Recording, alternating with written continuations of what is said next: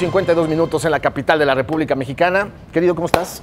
¿Cómo Gracias estás? por venir. Es Gustazo. Platícanos, por favor, de Los Niños Perdidos. Pues Los Niños Perdidos Que es- ya dejó la obra, la niñez, tiene 14 años. tiene Está 14 años. En plena adolescencia. Un ¿no? chamaco. cre- Creé un chamaco hace 14 años, empecé este trabajo. Los Niños Perdidos es un monólogo que está basado en un cuento que se llama Los pinches chamacos de Francisco Hinojosa. Es un autor ¿Clásico? Clásico que es de, litera- de literatura infantil y es una obra que estamos presentando ahora en Radio UNAM, en la sala Julián Carrillo, todos los lunes de febrero a las 8 de la noche y es entrada libre además. Ah, perfectísimo. ¿Nos repites la dirección, por favor? Nos más bien, ¿nos ubicas otra vez? La dirección está en Adolfo Prieto, número 133, Colonia del Valle, a dos cuadras del Metrobús Amores. Exactamente, también pueden llegar por Eugenia, hacerse una caminata y llegar ahí justamente donde está Radio Universidad, Radio Universidad Nacional, esta obra que exactamente pues tú presentas 14 años ya con ella y es una adaptación de una literatura infantil muy eh, prolífica, la de Pancho Hinojosa, Muy prolífica. y que ha tenido su pegue. ¿Cómo te está yendo? ¿Cómo has visto que ha evolucionado el público de cuando empezaste ahorita? Ha evolucionado sobre todo la, evu- la- la violencia.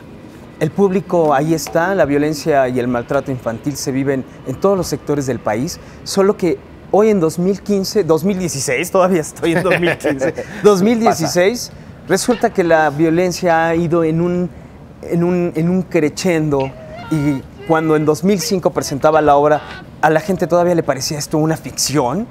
Hoy 2015 la ob- la- el, el cuento ha sido superado por la realidad.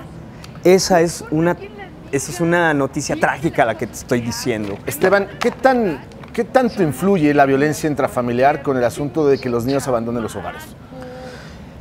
Híjole, Yo creo que sí es grave, ¿no? es gravísima porque estamos viendo cómo el país se viene desmoronando, la indiferencia, la, todas las situaciones de violencia que está viviendo el país. Bueno, son el origen, el origen de esa, de esa violencia está en nuestros niños.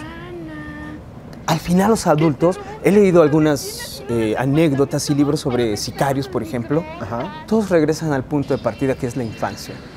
Ahí es donde todo, donde todo sucede, donde todo se construye. Sí, si algo se rompió en la infancia, dif- difícilmente, si algo grave se rompió en la infancia o sucedió algo terrible, difícilmente lo superas por mucha madurez que tengas. ¿eh? Difícilmente, difícilmente. La verdad es que esa falta de amor y de cariño y, de vivir en una, en una familia en condiciones dignas sí afecta en el futuro a inmensidad de, de- de jóvenes, de adultos, eh, de padres de familia. Además, la obra habla de padres de familia. Nadie nació preparado para ser padre o madre. Es un privilegio serlo, pero muy pocos están preparados para, para llevar a cabo una tarea tan monumental como ir llevando de la mano a un niño y, hacerlo, hacerlo que tome sus, sus propias riendas de su vida. En una de las tiras, Miguelito le pregunta a Mafalda, ¿debería haber maestros para padres?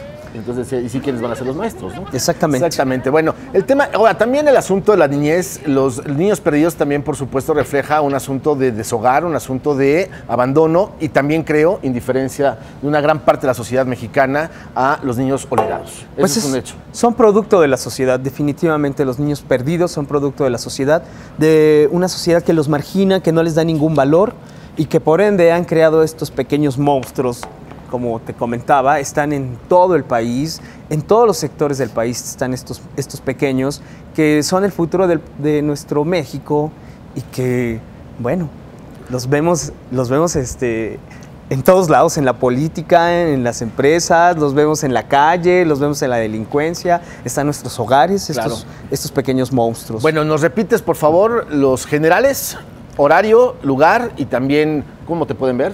Claro que sí. Bueno, eh, nos pueden encontrar en las redes sociales como Los Niños Perdidos. Yo estoy como Esteban Castellanos. Estamos todos los lunes de febrero a las 8 de la noche en Radio UNAM, en la sala Julián Carrillo.